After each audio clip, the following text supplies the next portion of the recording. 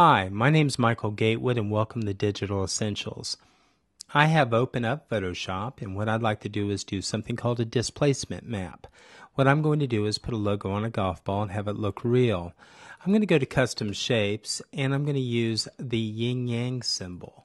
And I'm going to make paths and what I'll do is I'll create a path all the way around this graphic and I'll make it an active selection.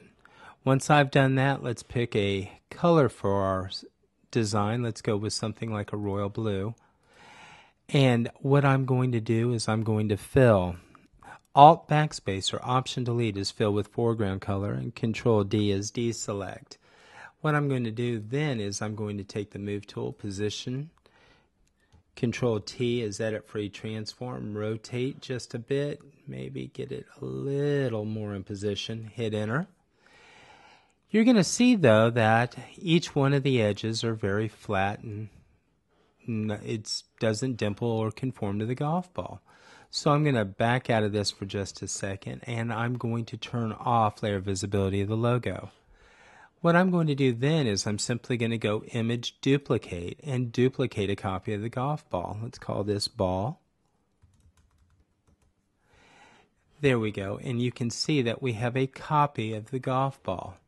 So we've got a ball here and a ball here. So what I'm going to do is I'm simply going to get our workspace in order so we can deal with both of these. And here's the copy of the golf ball.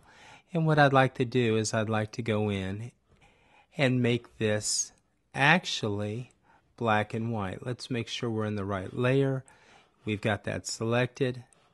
And let's get this in an area we can see it and simply go image, adjustment, desaturate. That takes out any color. It's a black and white golf ball, but do it anyway. You may have some color pieces down the road. And then simply go to Filter, Blur, Gaussian Blur. And let's give this a 1.5 blur. Perfect. Slightly out of focus.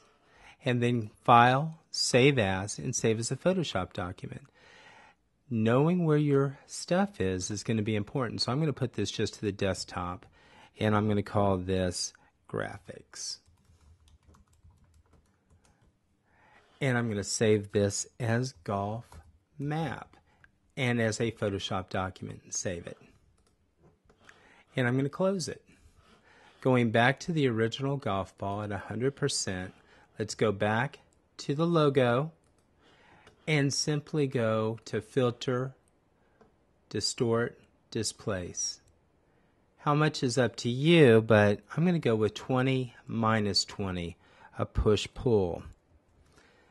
And I'm going to ignore the uh, settings at the bottom, just click OK and go to the golf map. We could not choose a displacement map if we didn't create one.